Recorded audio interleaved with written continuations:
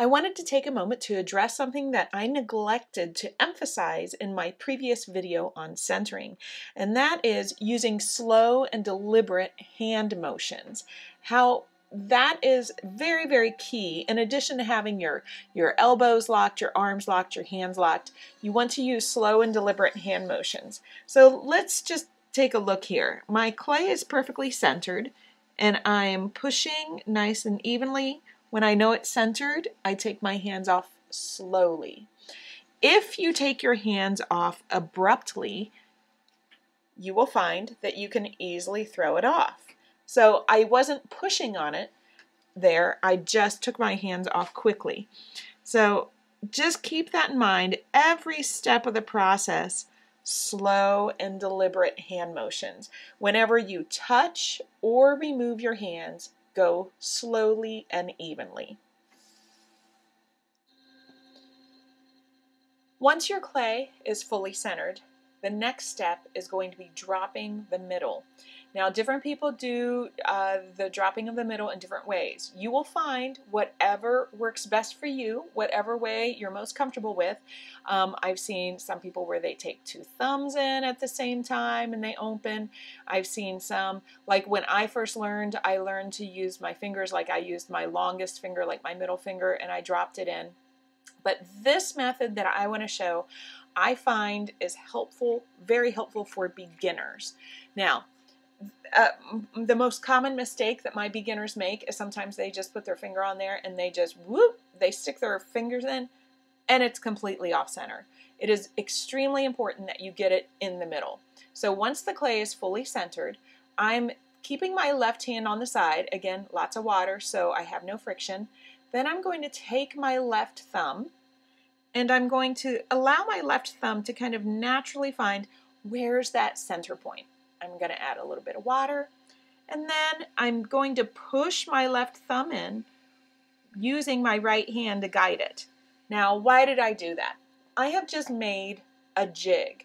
By using my left thumb as a tool, okay, it really helps a beginner to get it right in the middle. If you just take your left thumb and push, Sometimes it's easier to get it off.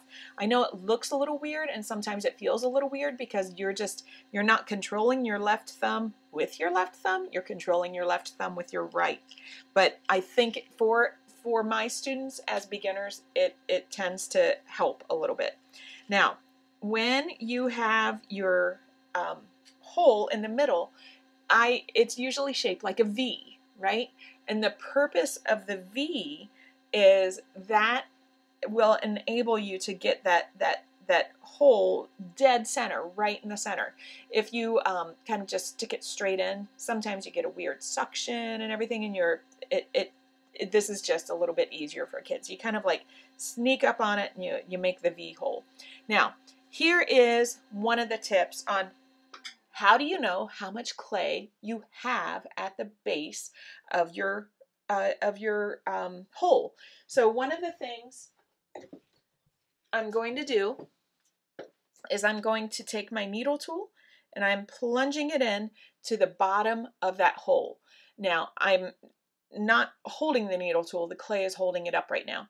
I want to have between maybe 3 eighths of an inch and a half an inch of clay at the base of the wall. That will enable me to have enough room for trimming. So with the needle tool in there, I'm just going to kind of hold this end so I don't knock it over.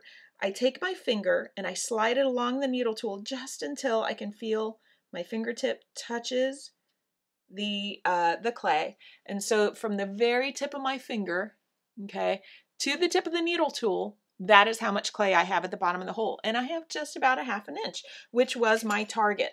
At this point, if you have gone way too far, maybe you won't be able to trim a bottom. Or if you've gone way too far, sometimes you've gone through it. But if you haven't gone far enough, that gives you a chance to just kind of fix that up and add a little bit more depth to the hole. Now, I'm just going to take my finger and just kind of compress over that needle tool hole that I have and now that needle tool hole is gone. Okay, all right. So now that I have dropped the middle, the next step is pulling this open. Now when I pull this open, I have to be aware of what kind of form am, am I making. Am I going to make something that is, uh, you know, flat bottomed with a square corner on the inside, or am I going to make something that's rounded like a bowl? Because that determines how I pull that opening. So if I wanted to make something that was, first of all, just rounded on the bottom, let's discuss that if I'm going to pull that open toward me, I'm going to pull it and I'm going to lift my fingers so I have a rounded interior. If I'm going to do something that's flat bottom, like say for a mug, I'm going to pull it open and actually make it flat and have a corner. Whichever method I'm going to uh, do, I want to uh, put my left hand on the side to help stabilize the wall, and then I'm going to use my right hand to pull it open. Now, just as a reference, I'm just going to make a little line here so you can kind of see. I still want to keep the wall three quarters of an inch thick or so after I open it. The big mistake that sometimes people make is they pull, they get really excited and they keep wanting to pull it. They're like, oh, I want this bigger. And they pull it until they narrow it too much at the bottom and they just pull a big donut ring off the, the clay. So we don't want to do that. We always want to make sure that the, the base of the wall is still going to be a good three quarters of an inch thick after I open this. So let's just pull this open. I'm going to pull this open with a flat bottom right now. So I'm making a cylinder, so I'm pulling straight towards me. And I'm keeping my left hand in the exact same position the whole time. I'm going to add a little bit more water because I could feel a little bit of friction and it was grabbing my, my uh, hands. Now, let's get this out of here. I'll get that out and you can see now that I have a flat bottom with a square corner and a wall that's going straight up on the interior. Now the last little bit that I want to do before I ever start pulling the wall is I am going to just tidy up the, this wall and do a little bit of what I refer to as recentering.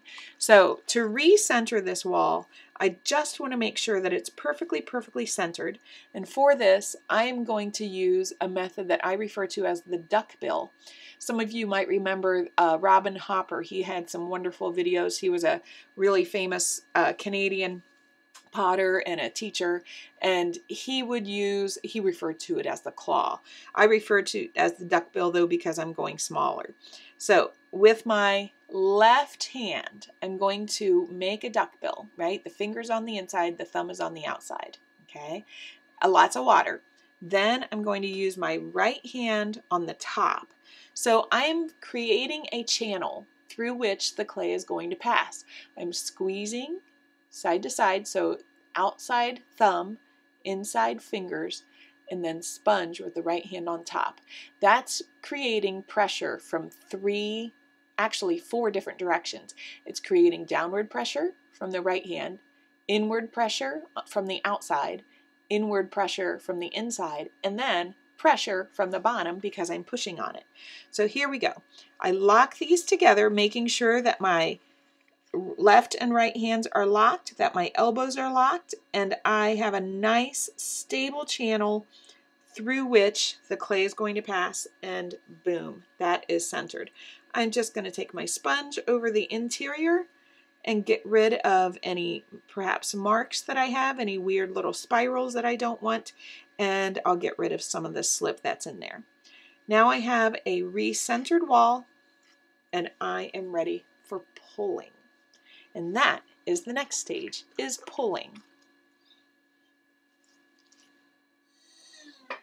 And as I mentioned before, remember to go slowly and evenly with your hand motions because again, any stage of throwing, you take your hands off quickly and you're going to throw it off. So like if I'm if I'm just kind of squeezing it, I take my hands off quickly, I can throw it off. So you need to just slowly release. And a quick recap, remember that opening, if you keep your left hand on the side of the wall, that helps you to keep the wall stable.